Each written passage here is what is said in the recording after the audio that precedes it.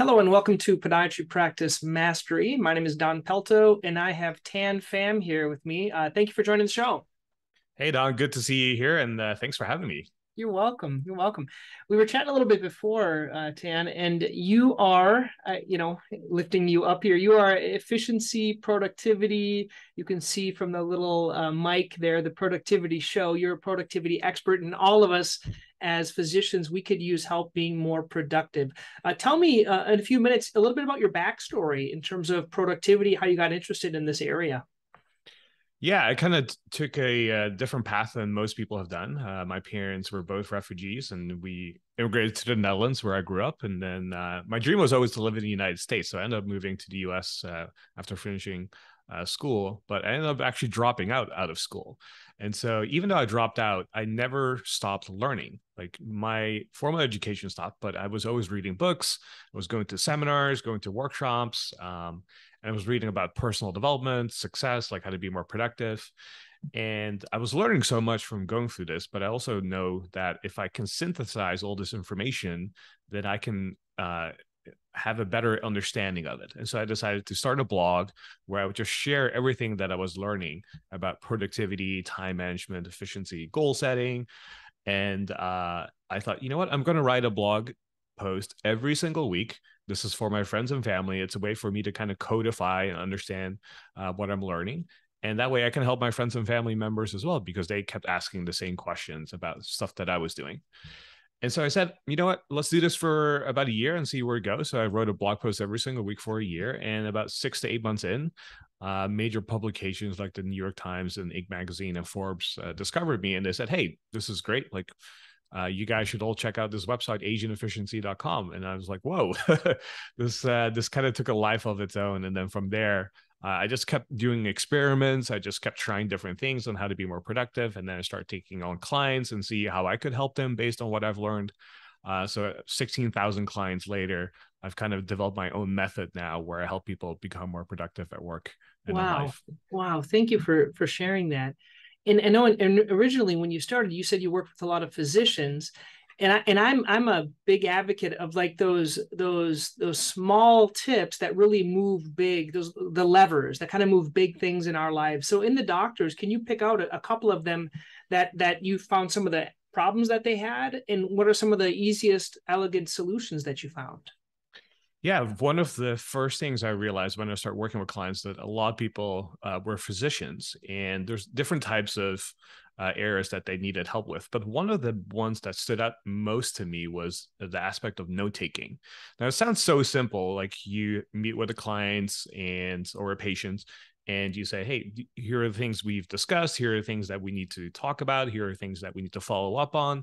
And it sounds simple in theory, but when you're so busy, you have to see client after client or patient after patient all the time, it can be overwhelming. And information can get easily lost and it's easy to fall uh, things fall through the cracks and so one of the first things we always worked on was creating some sort of note-taking system where they could take notes, store information securely and safely, and be able to access things very quickly as well, and also have follow-ups. And oftentimes you work with an assistant or somebody that helps you. And so we would create like a two-person or three-person system to make sure that everyone had the same information, the same alignment on what needed what needed to be done by who and by when. So it's always like the who, what, when. So that's like mm-hmm. the three questions we always want to be able to answer the the three W's: who, what, when, and then from there. Uh, be able to then follow up with people, making sure that the next appointment is scheduled, that the procedures are scheduled as as needed, and all the resources are rallied. So that was the first thing I noticed, and then the second thing was always a management of time because you're just so busy and doing so many different things. Uh, it's easy to sometimes to eat your own lunch right? Or in this case you like to record your podcast during your lunch times which i think is a, is a great use of time. But also uh, when it comes to just spending too many hours at the office, not having any time for yourself. Like you're doing a great service for others, but sometimes people forget to also fill up their own cups so that they can be in a better position to serve others. And so we oftentimes worked on renewal, like recovery, like things people needed to do outside of work so they could feel rejuvenated going back into the office. And so these were the two major things I've noticed. Hmm, that's great, Thanh in, in terms of, I know what a lot of us are using now, the uh, electronic medical records, unfortunately puts a lot of the onus on the doctors now in terms of typing in front of the patients. Um, I found that using a, a, a, virtual scribe, basically it's a scribe in your pocket that you kind of do your normal conversation and they do the transcription somewhere else tends to work pretty well. But we still do a lot of our own notes and documentation um, to to to that. But one of the struggles I always had in my EMR, my medical record, when I want to, let's say a patient comes in and they're not going to follow up with me, but I want to check up with them in a couple of months, but I there's no way to put it in my EMR.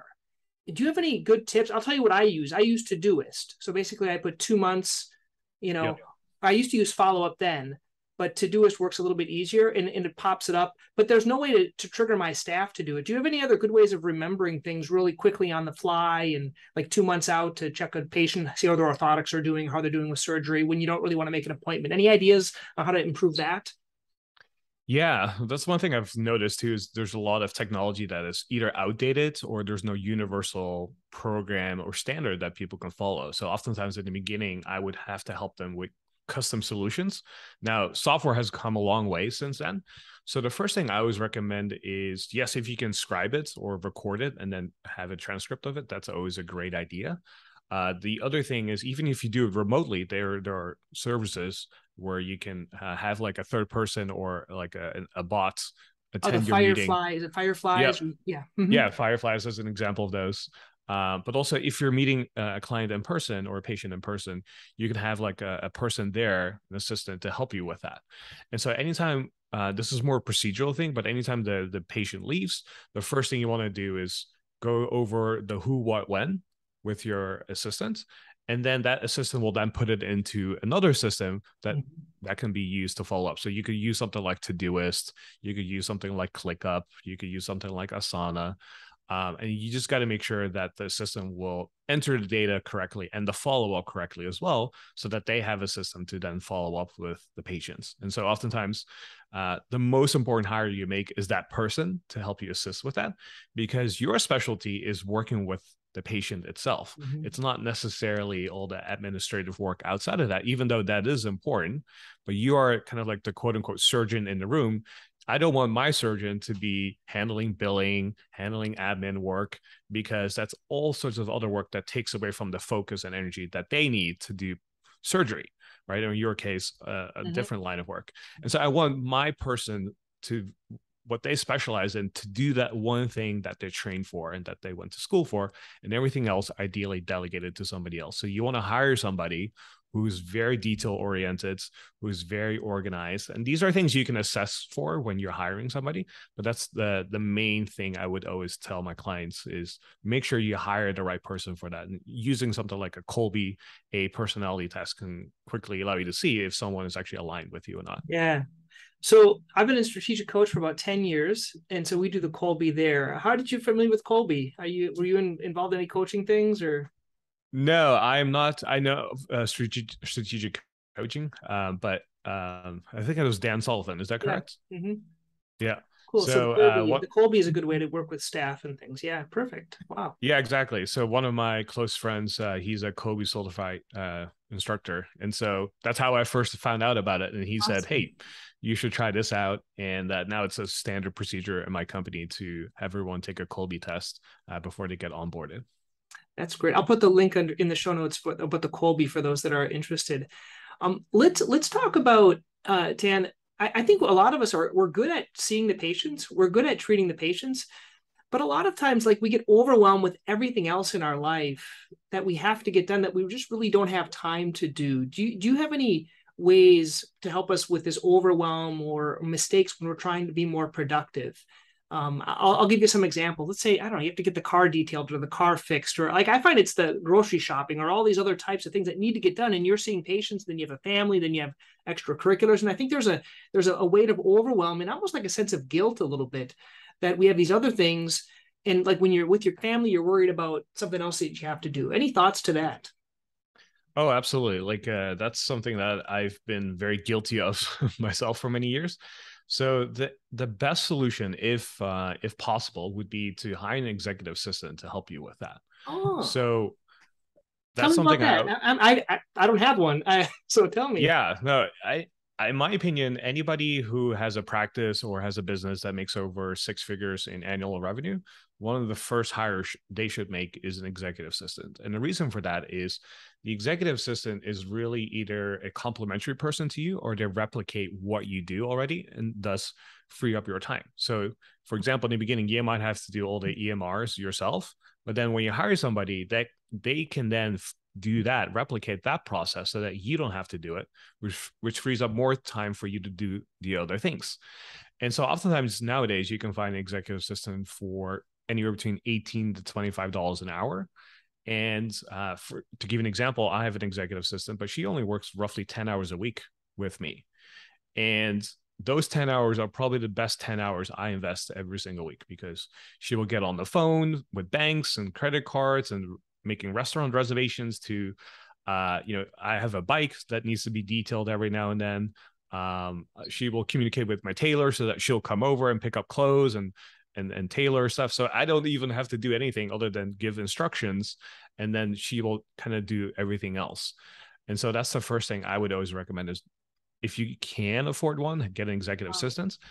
How do you find one? Because I have a virtual assistant that does a lot of the like the after the podcast. Um, Veronica will upload it to YouTube, upload it to the Anchor, do the show notes, yeah. send out the emails. That's a personal assistant. That's a virtual assistant is an executive assistant the same or do you have two different people or tell me? Yeah that can literally be the same person. So to give you an example my executive assistant lives half the time in mexico and half the time in the states. So she's kind of like semi-retired in a way and she just does this for fun. And so she she is remote. Uh, we've met a few times uh, and she does everything remote for me. And so uh, now, when it comes to personal errands, that's slightly different. I would call that a personal assistant where they have to be in your home and and such. And I do have one, but that person only comes in for two, three hours a week. Um, and she helps me water my plants and like get groceries every now and then. But nowadays with groceries, you can get those delivered, uh, no problem. So the other solution is automate or have everything done remotely as much as possible. Um, so, for example, you could even have your executive assistant find somebody that could be a quote unquote runner for you to pick up your packages for you, as an example. And then they get paid per gig or per hour when you hire them. And there's so many like gig economies out there nowadays, so that if you're in your local city somewhere, find those Facebook groups or particular websites like uh, Thumbtack or mm-hmm. or TaskRabbit. TaskRabbit. And those are the people that you can hire by the hour and they'll come to you. So to give you an example, I have a, a handyman that comes in once a month and I have it scheduled uh, for like two hours. And I don't even know what I need, but I know every time that person comes in, there's always something that needs to be done around the home. Like a mirror might be a little bit crooked, or uh, I need to hang up something, or something isn't working right now. Uh, and just having the, that person come in for two hours a month uh, automatically doesn't even make me think about what needs to be done. When that person comes there's always something to be done. And it's just stuff that is so li- so low on your priority list but still needs to be done at some point. So any extra help that you can have around you is something i would always encourage. You know tim i'm so in- inspired because we're speaking the same language and I, I like it seeing how other people use these. Tell don't talk to people now, where I've struggled in the past is I've, I've tried a certain virtual assistant, they didn't work out. I had one from the Philippines, didn't work out. So it's not as easy as this is my experience. I tried one, didn't quite work out. Try, I'm on the second, didn't work. I'm on the third, and it's finally working. Can you tell people it, it might not always work the first time? You have to keep trying and keep working towards things. Is that is that is that your experience too, or did you hit it home run the first time? Uh, no, my first two assistants didn't work out either. Um, I started remotely overseas as well uh, just because you kind of get sold on the dream that you can hire somebody for three, four, five dollars an hour and it will change your life. And in some ways, they can kind of help you with that. Uh, don't get me wrong. However, um, what I've discovered, and many of my successful entrepreneurs will agree with this, if you have an assistant that's also based in North America, so they're uh, usually trained. They're usually from corporate America, but now want to transition to working from home and have a few extra hours that they want to dedicate to work so that they have more time for their family. That's kind of like the sweet spot of the person that I would recommend that people find.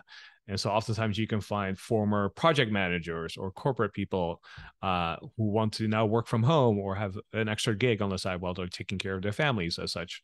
Uh, those are the best people I have found. So if you're listening to this or watching this and you go, hey, I want to find an executive assistant, I personally would recommend that you find somebody in, in North America, oftentimes for the same time zone reasons, but also there's a lot of cultural nuances that uh, make a big difference. So to give an example, uh, I'm a big foodie. I love eating food and going out, uh, having great dinners with people. But sometimes getting a reservation is very challenging at certain places. And so my assistant, who used to be a, former uh, sales uh, person, she has those skills to be very persuasive and kind of like talk to the hostess or the restaurant owners and say, Hey, I have a client that I work with who would love to come to your restaurant and they would publish it all over the place. Like, is there any way that we can get this person in somehow? And there's certain skills and nuances that kind of like re- requires that for things like that to happen that uh, makes it totally worthwhile. So that's what I would personally recommend is find somebody in North America. That's that's awesome. That's that's awesome. Um, let's talk a little bit about um, personal productivity in the office, such as a few of the time sucks we have. Getting back to patients, yeah, emails, you know, things like that. That kind of obligations that we have. Any ways to clean those things up? Yeah, I think one of the biggest time sucks for most people uh, is email we spend way too much time in our email inbox. Even if your work is revolved around email, I think there's a lot of opportunity for winning back time there. So to give an example, I was working with a senior executive at a Fortune 100 company, and she was reporting to 22 different executives uh, through email, and she was spending eight to 10 hours a day in her email inbox. And I go, okay, how do we uh, resolve this? how do we get you to be more efficient with email? So, long story short, we kind of helped her set up her workflow. But the most important aspect of her workflow was uh, most of the time I recommend that people only check email twice a day. But for her, we bumped it up to three times a day. So one time at nine, one time at one, another time at four, because she was she was reporting to so many people. And the idea here is that she could turn off her email app or her notifications and still be responsive to all the people that she needed to report to. Because oftentimes we feel this sense of guilt that if we don't respond to an email right away that we don't seem on top of things or we don't seem responsive. When in fact if you wait uh, two or three hours to respond to an email that's totally fine like someone else's uh, urgency is not necessarily your emergency. Mm-hmm. so that's always something i always remind people that hey it's okay to respond two or three hours later. It's not the end of the world.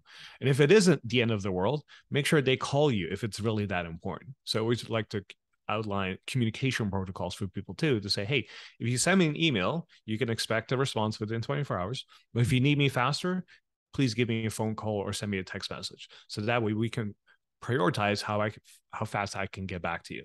So that's the first thing I would say is check email twice a day if you can, or three times at most, and then limit it to about 30 minutes every time you check email. Uh, so this allowed Lisa, the executive I was working with, go from eight hours a day to her email inbox to less than an hour that's a great. day.